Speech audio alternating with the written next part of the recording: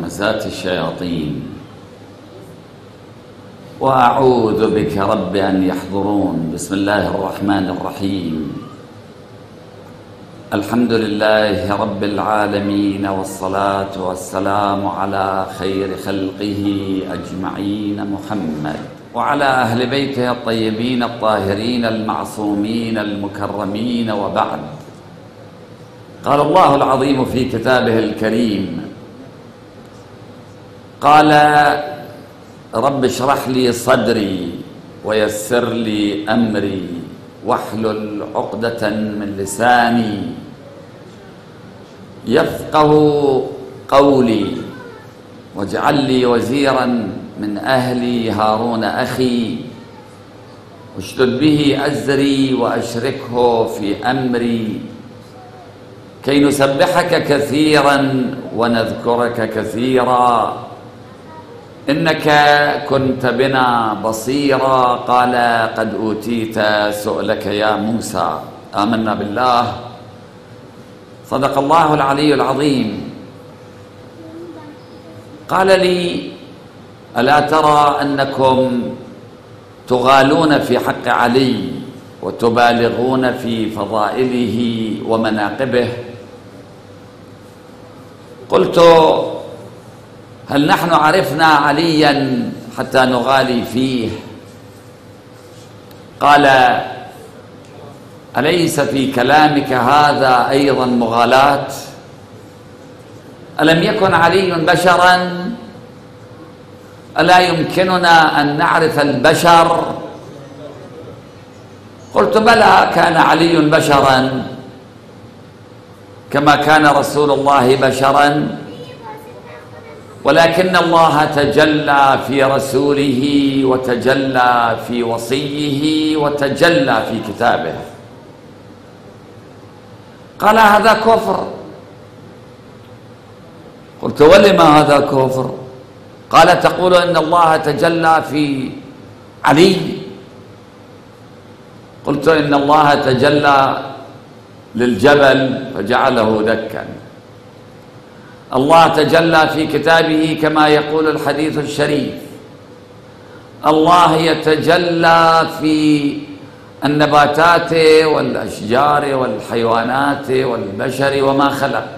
يتجلى بمعنى يظهر قوته وحكمته وعلمه في كل ما خلق وفي كل شيء.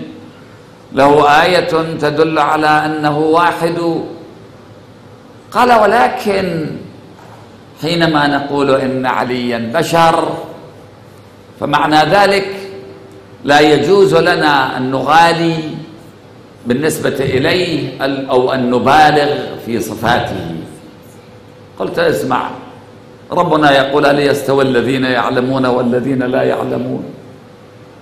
صحيح أن الأنبياء والأوصياء هم بشر من حيث أجسامهم من حيث أنهم يولدون كما يولد الناس يأكلون كما يأكل الناس ينامون كما ينام الناس يموتون كما يموت الناس. ولكن الذي يميزهم هو أن الله خلقهم من معدن آخر. أرواحهم كانت معلقة بعرش الله قبل أن يخلق الله السماوات والأرض. الله خلقنا ونحن الناس العاديون وكل من سيخلقهم فيما بعد في عالم الذر وإذ أخذ ربك من بني آدم من ظهورهم ذريتهم وأشهدهم على أنفسهم ألست بربكم؟ قالوا بلى شهدنا ربنا خلق أرواحهم من طينة مختلفة عن طينتنا تماما. من حيث الجسد هم مثلنا.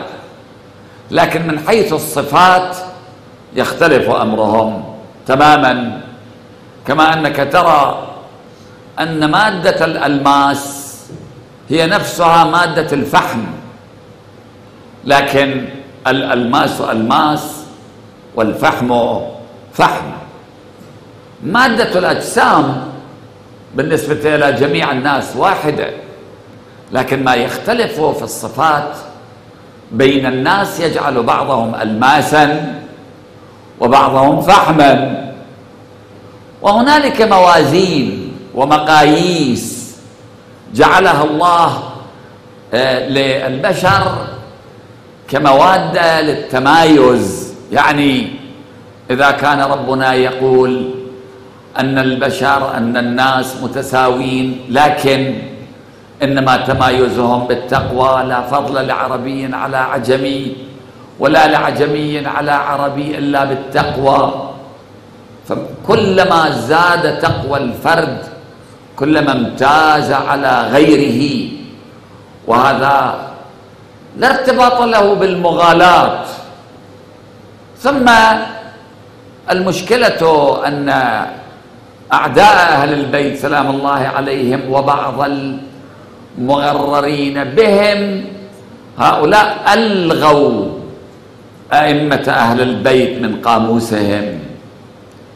يعني فالمثال بسيط أجيب لك. أبو هريرة عاش مع رسول الله وصاحبه ثلاث سنوات. ثلاث سنوات كان مع النبي. والإمام علي عاش مع رسول الله ثلاث وخمسين عاما. ومن بعد البعثة كان مع النبي ثلاث وثلاثين عاما. أبو هريرة ثلاث سنوات والإمام علي ثلاثة وثلاثين عام. وكان الإمام علي دائما مع النبي. في مكة عشر سنوات أبو هريرة ما كان موجود. ونزلت هذه السورة المكية وتحدث رسول الله رسول الله صلى الله عليه وآله وسلم للعموم للأفراد. وتعرف أن سنة رسول الله لا تعني مجرد كلامه فعله أيضا سكوته وحركته موقفه. عشر سنوات الرجال ما موجود مع النبي. جاء في معركة الأحزاب في معركة الخندق وعاش مع النبي ثلاث سنوات. كم من الأحاديث ترمون عن أبي هريرة؟ كم أحاديث؟ خمسة آلاف حديث. ويوم اللي يصير كلام أنه كيف أن هذا الرجل كان مع رسول الله صلى الله عليه وآله وسلم فقط ثلاث سنوات.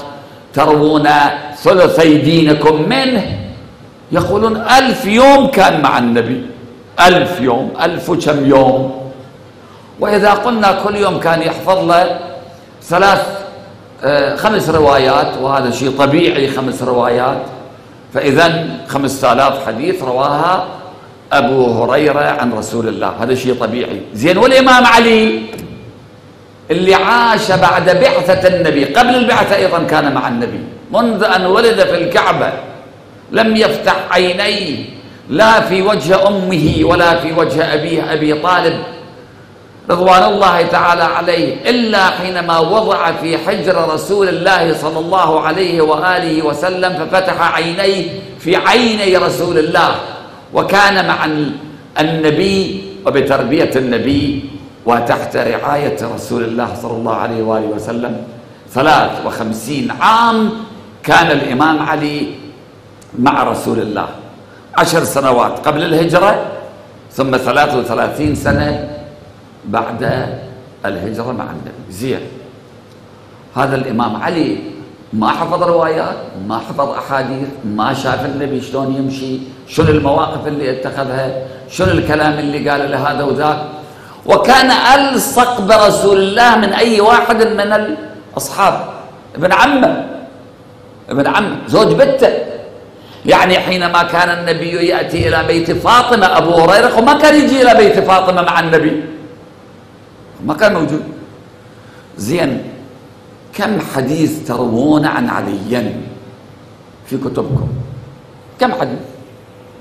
خمسة آلاف من أبي هريرة. ممتاز. والبقية من عائشة ومن فاطمة. مو بيت رسول الله هذه؟ مو كانت مع النبي منذ أن ولدت إلى أن غاب النبي قبل وفاتها بأشهر أو أيام؟ كم حديث من فاطمة؟ وكم حديث من علي؟ وكم حديث من الحسن؟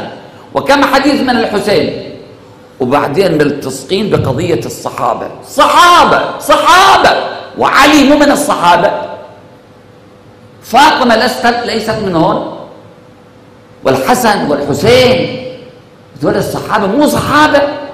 يعني إذا لم يكن علي الذي كان مع رسول الله وعاش مع رسول الله صلى الله عليه وآله وسلم 53 عام مو من الصحابة. منو من الصحابة؟ منو من الصحابة؟ شو ما رايحين على هالصحابة؟ ما عندكم شغل في علي؟ ثم الإمام علي في صفاته في مواقفه في علمه في حكمته لا يقاس به أحد من الآخرين. لا من الأولين ولا من الآخرين. لا من الأولين ولا من الآخرين. إلا رسول الله صلى الله عليه وآله وسلم. هذا الاستثناء غير. علماء أمتي أفضل من أنبياء بني إسرائيل.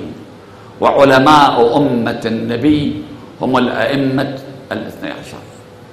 هؤلاء هم المقصودون. علماء أمتي أفضل. لأن ذولا كانوا علماء. غيرهم كانوا رجال السلطة. يعني معاوية تعتبر من علماء أمة النبي يزيد تعتبر من علماء أمة النبي. من من عندهم؟ يسألون واحد من عندهم عن آية وفاكهة وأبا. شنو معنى أبا؟ ما يعرف. عمي اقرأ الآية اللي وراها. متاعا لكم ولا أنعامكم يبدو هاي الآية الثانية ما قارية. ما يعرف الجواب. يريد يحدد المهر. أنه شنو المهر تغالون به وتزيدون وتنقصون؟ فتقوم امرأة. وتقول لا حق لك في ذلك لأن القرآن يقول آتيتم إحداهن قنطارا. قنطار يعني جلد البقر أو الثور يملأ بالمجوهرات يعني من الممكن أن المهر يكون قنطار وآتيتم إحداهن قنطارا.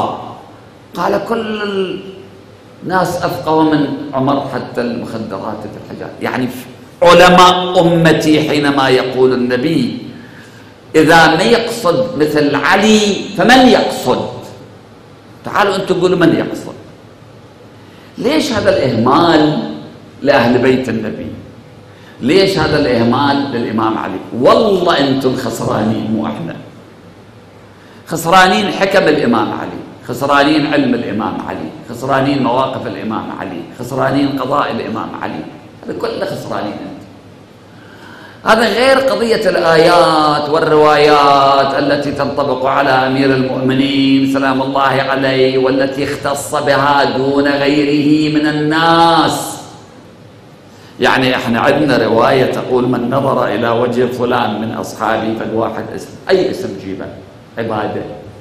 لكن يقول النبي من نظر إلى وجه علي النظر إلى وجه علي عبادة.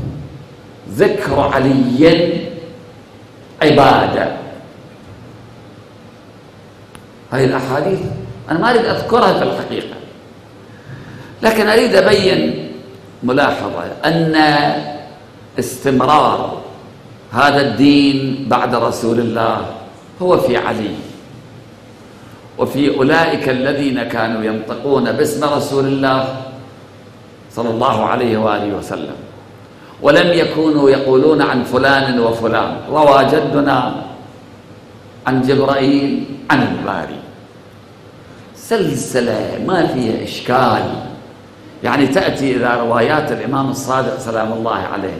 الإمام الصادق يروي عن أبيه الإمام الباقر الإمام الباقر عن أبيه الإمام زين العابدين الإمام زين العابدين عن أبيه الحسين الحسين عن علي علي عن النبي. يعني عندك سلسلة موثقة أكثر من هذه. أكثر من هذه عندك سلسلة موثقة. هذا كله يتركوه. ما عندهم شغل. لا بعلي ولا بفاطمة ولا بالحسن ولا بالحسين ولا بالأئمة المعصومين من ذرية الحسين. أنتم الخسرانين.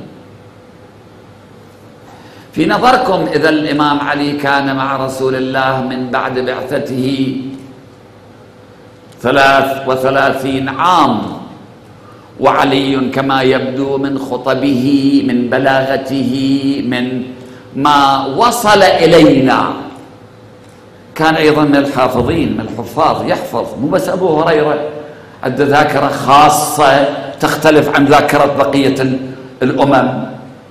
ولم يأتي إلى هذا الدين إلا قبل ثلاث سنوات من وفاة رسول الله صلى الله عليه وآله وسلم. 12 ألف يوم الإمام علي كان مع رسول الله صلى الله عليه وآله وسلم من بعد بعثته أكثر من 12 ألف يوم. زين كل يوم الإمام علي يشوف النبي ويسمع النبي. إذا كلما نقله عن مواقف النبي عن حركة النبي وعن سكوت النبي هذه رواية تعتبر حديث يعتبر.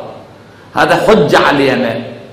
يعني على الأقل يومية خمسة ستين ألف حديث من رسول الله. لازم إحنا عندنا في كتبنا وينها؟ عندكم وينها؟ عندنا موجودة. إحنا عندنا الحمد لله هذه حفظت. ما كفرد واحد وراء النبي أو وراء الإمام علي. عندنا قال أن السنة لا تكتبوها. لمئة سنة السنة سنة رسول الله كان ممنوع أحد يكتبها. والحجة حتى لا تختلط بالقرآن. عجيب. والآن أيضا أحذفوا السنة حتى لا تختلط بالقرآن. بس ذاك اليوم كان هذا الخطر موجود بعد هذا الخطر ما موجود. وبعدين هم أهل السنة وإحنا مو أهل السنة. إحنا الحمد لله ما حذفنا شيء.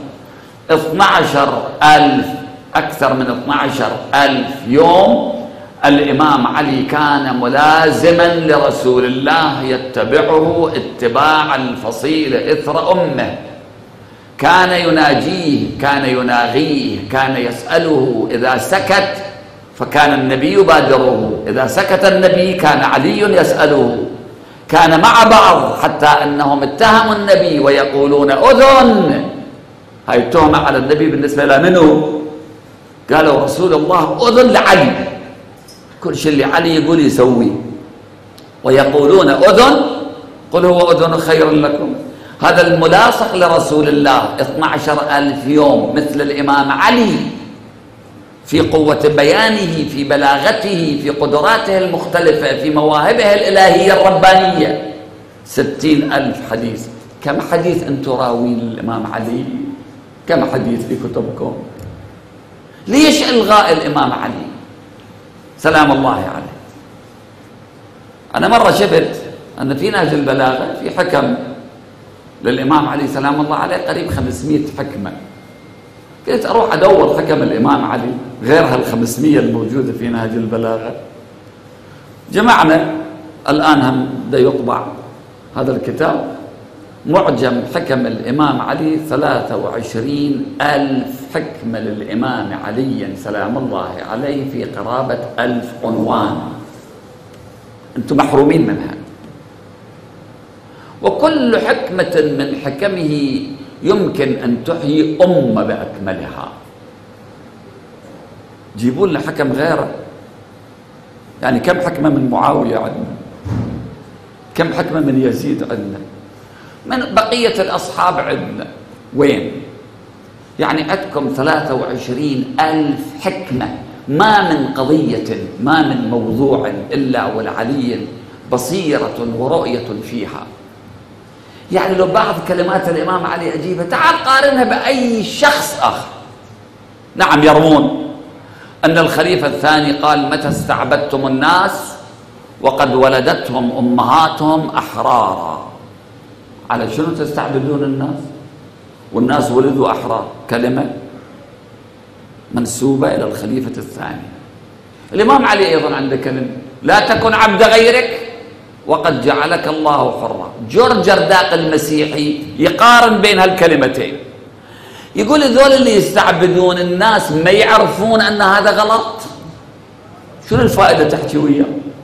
هذول المليونيرية المليارديرية اللي يحتكرون الأموال ما يعرفون أكو فقراء ولازم يعطون للفقراء.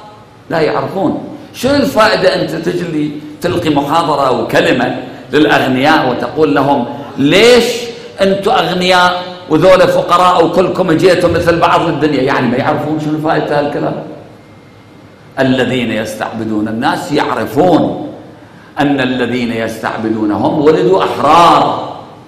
لكن كلمة الإمام علي التي يتوجه بها إلى الشخص كل واحد واحد من عندهم يتوجه إليه. لا تكن عبد غيرك.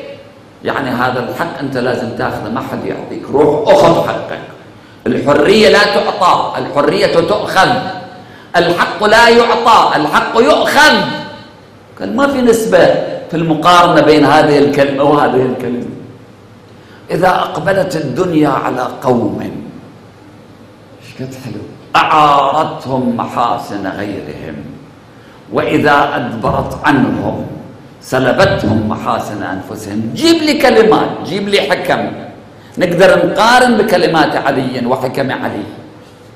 هذه 23 ألف حكمة هي الكلمات القصيرة غير الخطب التي ألقاها الإمام علي غير الأحكام غير القضاء.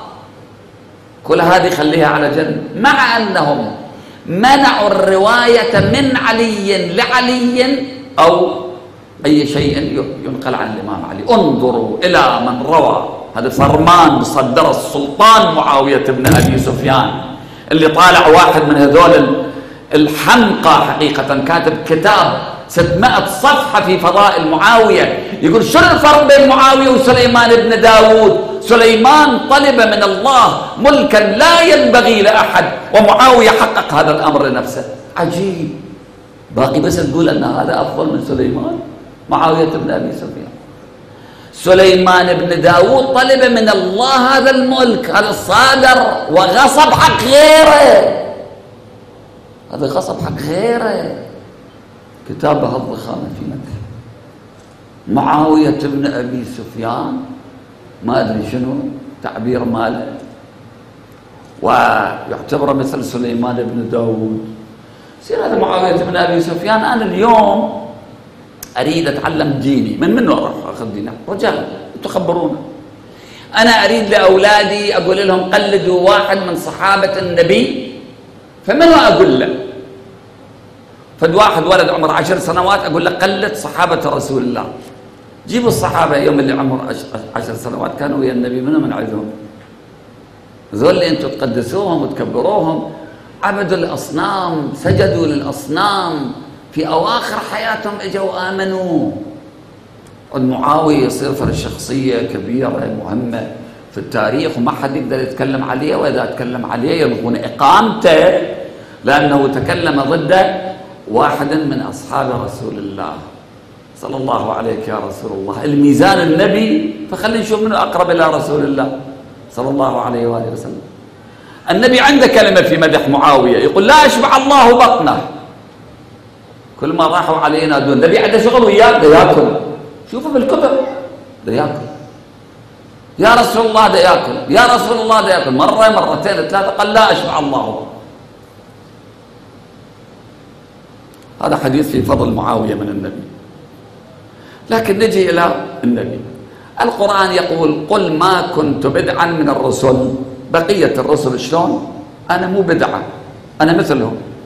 ما كنت نص الآية ما كنت بدعا من الرسل حينما أرسل الله موسى بن عمران إلى فرعون قال روح إلى فرعون انصح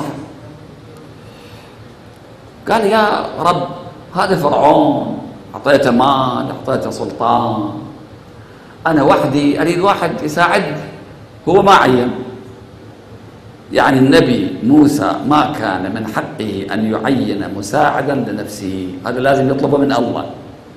لأن عمله راح يكون حجة. قال رب اشرح لي صدري ويسر لي أمري. واحلل عقدة من لساني يفقه قولي.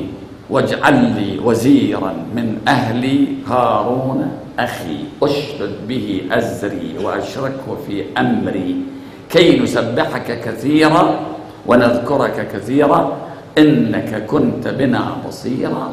قال قد أوتيت سؤلك يا موسى. تقول أسماء بنت أميس.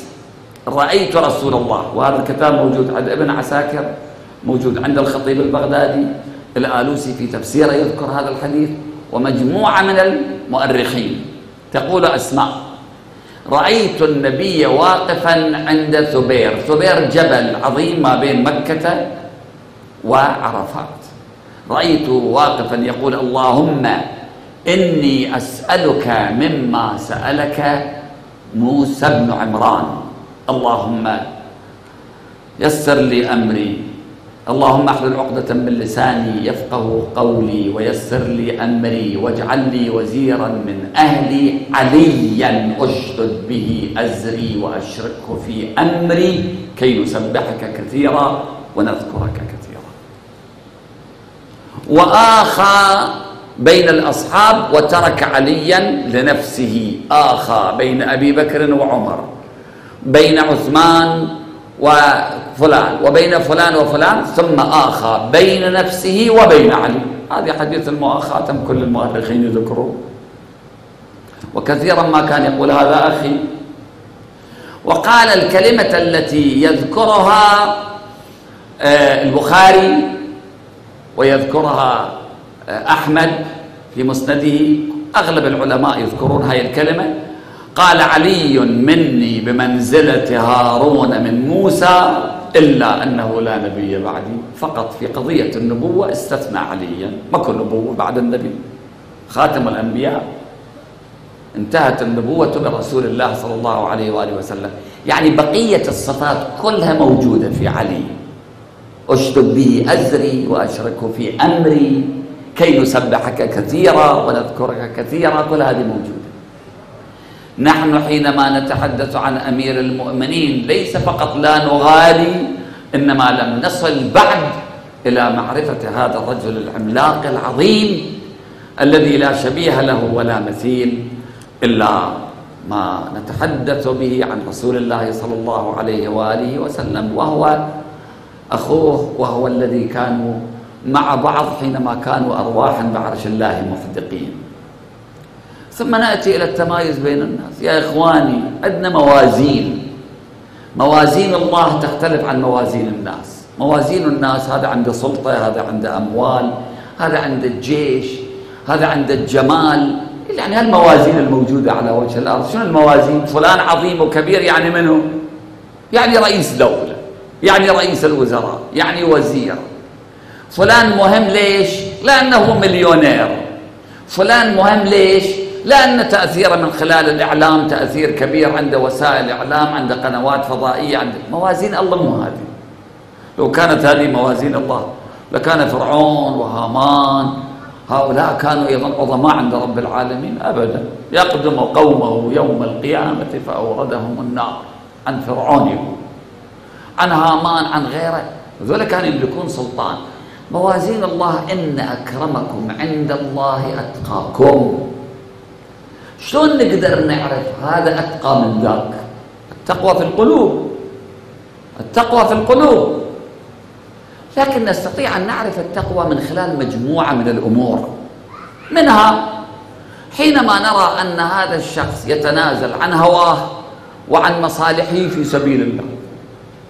يعني تأتيه دولة إمبراطورية جاءت إلى الإمام علي سلام الله عليه بعد الخليفة الثاني اجتمعوا وياه ستة عينهم الخليفة قال بيناتكم واحد تختارون نبايعك على كتاب الله وسنة رسوله وسيرة الشيخين.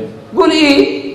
يبايعوك فتصير خليفة وتحكم لك خمسين دولة بعدين غير بدل مثل ما يعجبك. لا. مفردة واحدة أخلاقية ما مستعد الإمام علي يتنازل عنها ويحصل على إمبراطورية. مفردة واحدة. هذا التقوى. إذا ما عنده تقوى يقول إيه؟ ما يخالف. اجتهاد رأي. قالوا إذا مو أنت الخليفة.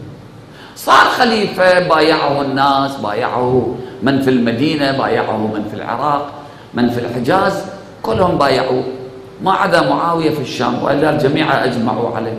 هذا معاوية بقي كم يوم حتى يأخذ البيعة لك بعدين نشيله لا قال والله لا أبقي معاوية يومين. على أي أساس هذا يحكم هناك بأي موازين بأي مقاييس إلهية. شنو الميزان اللي هذا صار هناك خليفة؟ لأنه من بني أمية والخليفة من بني أمية هذه موازين الله؟ العشائر والقبائل هذه موازين الله؟ لا. ما بقي. كان باستطاعته أن ينقذ حياة نفسه لو شاء. يأتي إليه أحد الإمام علي في المجلس يقول يا أمير المؤمنين إني أحبك. الإمام طالع فوق جوا أنا لا أحبك. يا أمير المؤمنين والله إني أحبك. قال والله إني لا أحبك. زين واحد جاي يتغازل وياك يقول أحبك. قال لا أحبك. قال له ما أحبك راح. قال يا أمير المؤمنين ليش قلت له ما أحبك؟ قال هذا قاتلي. هذا ابن ملجم جردوا سيوفهم يقتلوا قال أبدا ما تقتلوه مو أنت تقول هذا قاتلي نعم قاتلي. لكن إذا قتلتموه إذا تقتلون بي غير قاتلي. مرة أخرى أيضا قال لجماعة هذا قاتلي. فقال أقتله؟ قال له لا. ليش؟ أقصاص قبل الجناية حكم الشرعي يقول قبل الجناية ما يصير قصاص.